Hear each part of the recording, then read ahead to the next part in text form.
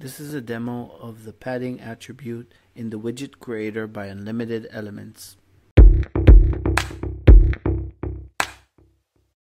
To add a padding attribute, we need to click Add Attribute. And in the attribute type, we need to choose padding. In the title, we can give that a title and a name.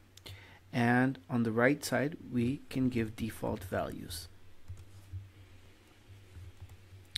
CSS selector is super important and this is what connects the attribute to the HTML. So over here I need to add a class name that I'm going to later on use inside of the HTML. For example, I'm going to write a class name that's called example.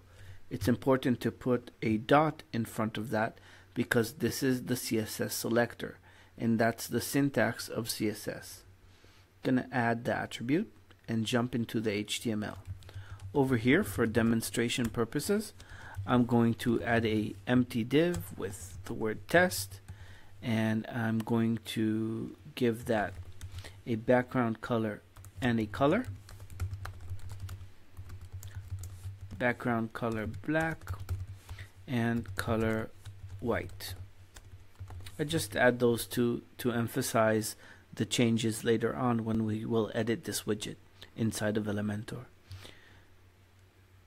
After adding the style, I need to give it a class.